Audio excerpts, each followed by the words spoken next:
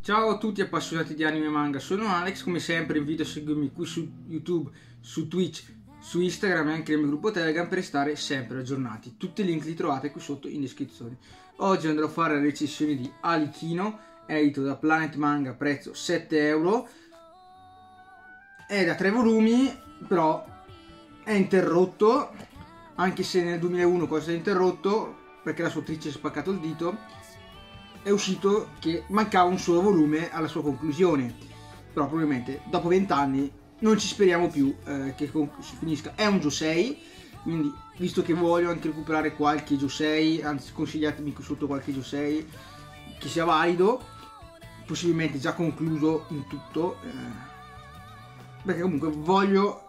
andare anche su quel genere, su quel target per comunque farmi una cultura generale di manga, come vedete lo stile di disegno, soprattutto le impostazioni delle tavole è molto molto particolare, non è la classica impostazione eh, che hanno le tavole, è l'unico manga che ha fatto questa autrice che è Koyuku Shurei, Shurei, Koyuku Shurei. E quindi eh, unisce tematiche fantasy, dark e anche sentimentali, eh, parla di questo mondo, questi Arikino, che sono eh, delle specie di demoni tutti diversi tra loro che eh, hanno diversi aspetti, quello che hanno in comune è che sono bellissimi, per questo gli uomini sono attratti eh, proprio da questi esseri, sono gentili e ingannevoli, timidi ma anche selvaggi e quindi vediamo questo protagonista Zurighi che è un semplice umano, o meglio, si scopre che ha una particolarità molto ambita e ricercata dagli Alichino e quindi tutta la storia è incentrata su di lui e sui suoi amici, diciamo, Enju. Poi ci sono spe- un'altra di Kino che però non è contro di lui ma che è sua amica in qualche modo che vuole comunque difenderlo, Miyobi.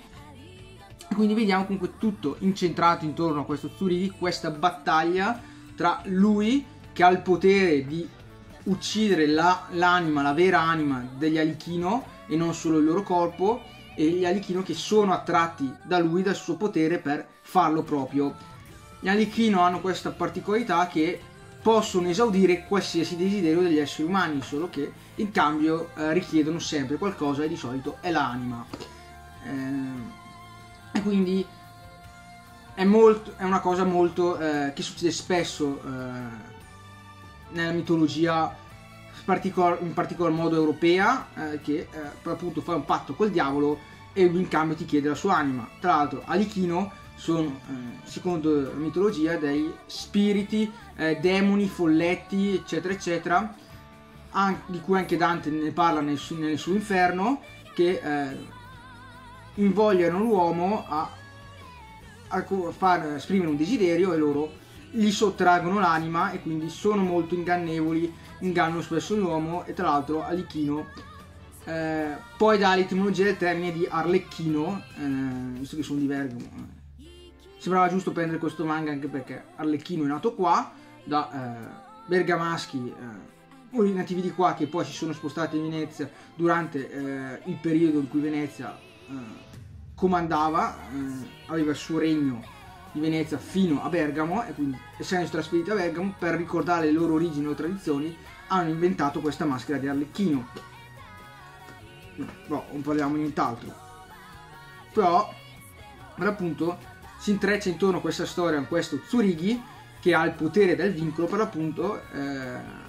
che ha un'anima, l'anima del vincolo, che è molto ricercata di Arlecchino perché è un'anima pura, più bella di qualsiasi altra e quindi e spesso, eh, portati,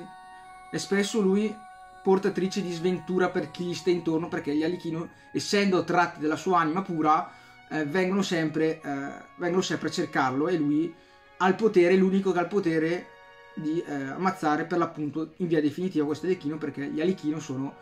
eh, hanno un corpo incorruttibile quindi non sentono lo scorrere l'invecchiamento del tempo, possono assumere le sembianze di chi vogliono e sono praticamente immortali a parte tranne proprio da questo potere del vincolo che eh, gli distrugge l'anima. eh, il corpo possono perdere, però la loro anima resiste e si issidiano in un altro corpo, generano un altro corpo, non è dato sapere come né specificato quali dei due, eh, però vediamo comunque relazioni umane, relazioni tra uomini e Alechino in questo manga, eh, come si comportano eh, con Tsurighi, alcuni sono contro, altri sono amici diciamo, quindi Alechino visto non solo come un'entità demoniaca, ma ognuno con i suoi pensieri, le sue idee.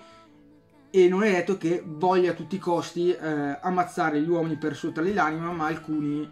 eh, si innamorano ste- eh, spesso degli umani a loro volta, nonostante siano belli, bellissimi questi Alichino e quindi